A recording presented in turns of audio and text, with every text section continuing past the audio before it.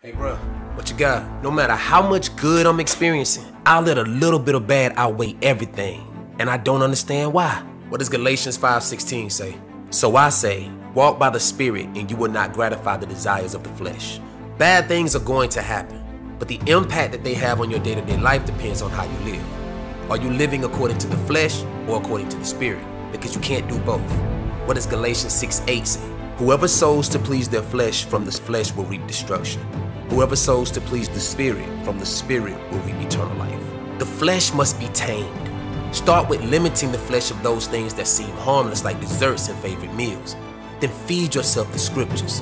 This makes you stronger because there should be nothing the flesh desires that you can't say no to. What does Romans 7 24 and 25 say? What a wretched man I am. Who will rescue me from this body that is subject to death? Thanks be to God who delivers me through Jesus Christ our Lord.